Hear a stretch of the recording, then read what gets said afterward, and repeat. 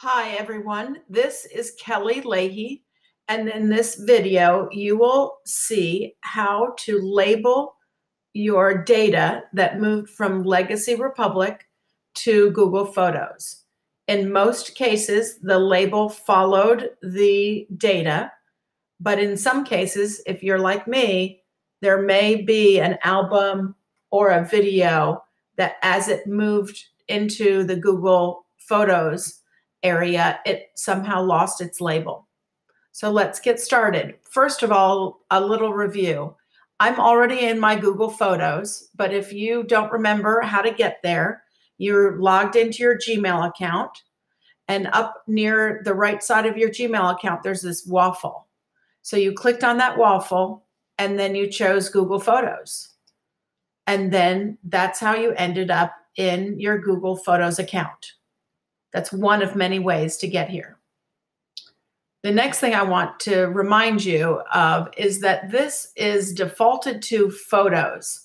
So it shows all of your photos and there's no necessarily good order. I mean, it's a date order, but as far as um, things go with transitioning your Legacy Republic information, that may not be very easily received in this window. So I'd like to change to a different view.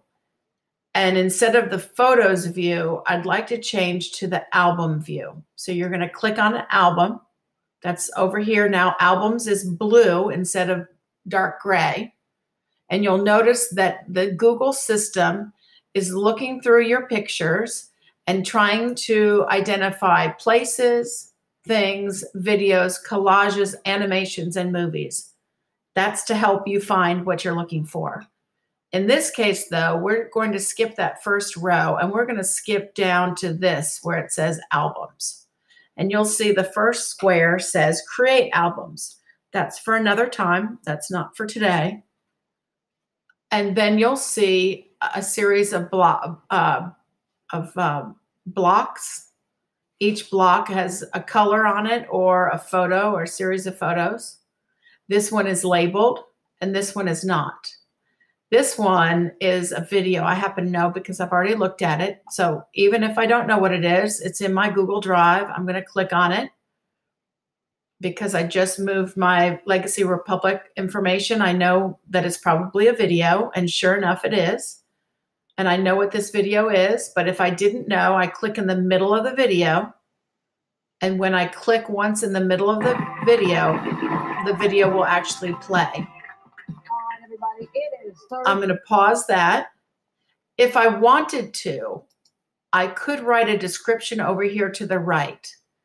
And when I write a description over here, that will help the system find this video in the future, but it's not necessary. What really would be awesome is if you click on the back arrow right now and then see this, add a title, you may have a situation like I have where this video moved to Google Photos from Legacy Republic, but didn't, but the title didn't move with it. So this is the price is right. So this is a video clip from a TV show that my son and his friends were on. So now I like that title. I click the checkbox up on the upper left corner. And then that check turns into a back arrow. So I click on the back arrow to go back where I was. And sure enough, there it is. Now I know that black box represents a video call from The Price is Right. If I change my mind in the future and want to name it something different, all I have to do is click on these three dots and I rename the album. I just type in what I want and click on done. And the name is the new name which is really awesome. That's what I did on this one. No, I didn't have to do on this one, but it looks like I'm going to have to do that on this one too. So I, go ahead. I have no clue of what this video is. So the first thing to do is click on it. Then I click once in the middle of the box. It opens up so I can view it.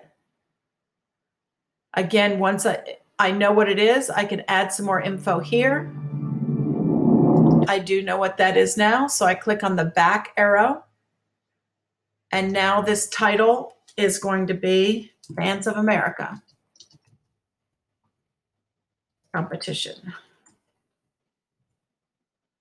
And then I click on the check box or the check mark, I should say. And now the check mark turns into the back arrow. So I click on the back arrow and I'm finished with that. Now it looks like my albums are in good shape. These are photo albums and scrapbooks I have, and it looks like these have transferred over really well.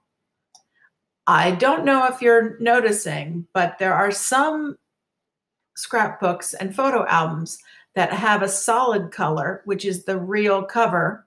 And then there's others that whose first page is a picture page. So in the next video, I'm going to show you how to fix that so that your scrapbook covers or photo album covers are the real cover of the book. Thanks for listening, and I look forward to explaining that next task to you.